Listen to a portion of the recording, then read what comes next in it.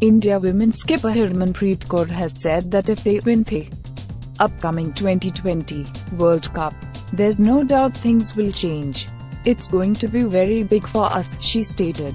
In the 2018 T20 World Cup, India were defeated in the semi-finals by England, while in the 2017 ODI World Cup they had lost in the final. Subscribe to the channel for more news.